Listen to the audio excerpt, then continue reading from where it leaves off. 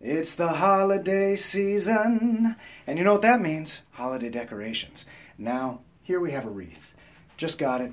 Kind of conflicted about it. On the one hand, it looks awesome. It's got lights. They turn themselves on and off when it's day and night. But on the other hand, I don't like the fact that at least two mystical reindeer had to die for me to have this thing.